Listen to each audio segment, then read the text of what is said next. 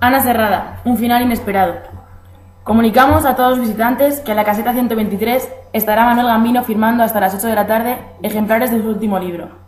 En la caseta 322 se encuentra Mario Vaquerizo regalando lotes de su libro disco. Comparte caseta con él Fulgencio Malaspina, presidente de la Real Academia Extremeña de la Lengua, firmando ejemplares impresos de su, de su ejemplar en Wikipedia. El tiempo de espera en la cola es de tres horas en el caso primero y de tres minutos en el segundo. Aquella prometía ser una tarde más de las tardes largas de la edición de la Feria del Libro de Madrid. Esta vez no llovía, como ha sido la costumbre desde el principio de los tiempos de la Feria del Libro. Chaparrones, San Isidro, los toros. Ya no llueve como antes, decían los viejos del lugar. El cambio climático, vaya usted a saber. En realidad, era una tarde muy calurosa, el sol picaba, hasta los pájaros estaban callados en las ramas, y solo los más activos bajaban a beber agua en el pequeño charco que quedaba después de que un grupo de chavales terminase de darle apretones al grifo de la fuente cercana. Ramón Rupérez tenía sueño, pesadez de cabeza, He comido demasiado, pensó. Su editor le llevó a un restaurante asiático cerca del retiro y pidió un menú de degustación que resultó ser mucho más abundante y variado de lo que cabía esperar. A él le habían enseñado que no se puede dejar nada en el plato, hay que comérselo todo. Y el editor, en plena dieta de Naturhaus, le dejó casi solo ante el peligro. ¿Por qué le pondrán tantas especias a todo? pensaba mientras intentaba poner cara amable a una señora. Su estómago le recordaba que aquel picante entraba bien, porque luego se quedaba durante varias horas. ¿Cuál es su nombre, señora? Aquí tiene, espero que le guste. Muchas gracias por comprar el libro. Durante los años que había vivido en África, enviado por la editorial encargada de redactar la enciclopedia completa de la fauna mundial, Ramón nunca se imaginó que después de redactar su parte en aquella importante obra literaria, acabaría dedicándose a escribir novela negra para sobrevivir. Su vida se había complicado mucho últimamente, y llegar a fin de mes era más costoso que subir la ladera oeste del Kilimanjaro, así que no tuvo más remedio que aceptar encargos que no acababan de convencerle, pero que le rentaban lo mínimo para ir sobreviviendo. En realidad, a él le hubiera gustado acabar la tesis doctoral, que tantas veces intentó recomenzar y terminar, pero que nunca terminaba de cuajar porque siempre se le cruzaba algo más urgente por delante, y así no podía atender más a lo más importante. ¿Cuántas veces había pensado para sus adentros que él sería feliz escribiendo sobre la vida de los animales, que tanto había observado y que tan bien conocía en sus dilatadas estancias por todo el mundo?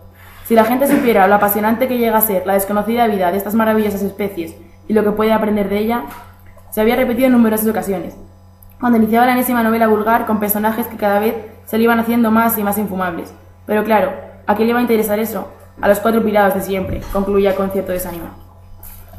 Una sensación rara le invadió súbitamente. Los rayos del sol caían sobre la caseta donde estaba firmando y le daban de refirón en la cara. Se cortaban de una manera extraña y notó una presencia diferente. Dejó de escribir la enésima dedicatoria de la tarde y levantó la cabeza intrigado, a la vez que su garganta ahogó una exclamación de profunda sorpresa. Un fornido gorila de bosque le miraba y con su enorme mano derecha le alargaba un ejemplar de un libro de Diane Fossey, la célebre bióloga y escritora asesinada por los furtivos, a los que se opuso con todas sus fuerzas a lo largo de los años que estudió los grupos familiares de estos animales en las zonas arboladas donde vivían. No había aún recuperado el aliento y no acababa de dar crédito a sus ojos cuando atónito creyó identificar por detrás del gorila la robusta figura de una cebra, que mostrando los dientes como si estuviera riendo, sujetaba en su boca un libro de, fotos del National Geographic uno de sus favoritos. El bufido potente de un búfalo removió las hojas de los libros expuestos en la caseta, y hasta su propio flequillo que habitualmente caía sobre los ojos.